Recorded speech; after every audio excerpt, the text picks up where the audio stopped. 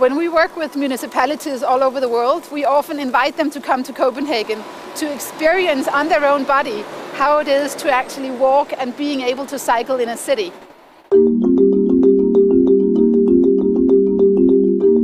Walking and biking adds a very flexible um, element of movement in a city because you can easily jump off your bike, you can wave to people that you pass, and it creates a very open and, and, and, and human city, you could say.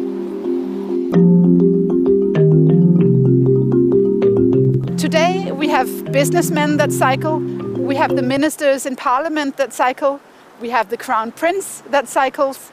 Cycling is not just for the poor, it is actually improving the mobility of the society in general.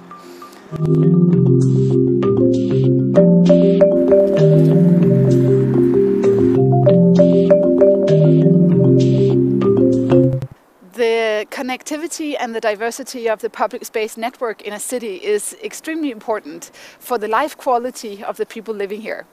The healthy city, the attractive city, is a city that has to have uh, the humanistic values in the center of their decision making. Um, and, and, and that's not an easy task. It sounds very easy, but you have to actually visualize people in planning. Uh, and that makes people that are biking and, and walking as visible in planning as the people driving in cars.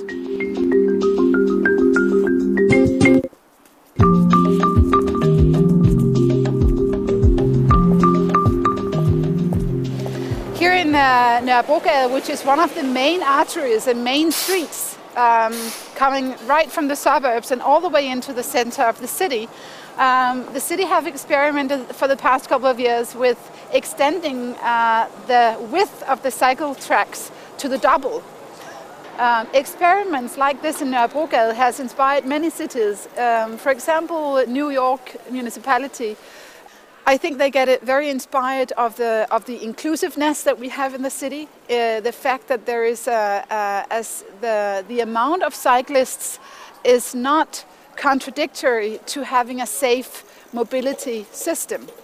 In fact, we have been able to show that the more people you that, that cycle, the safer the street becomes.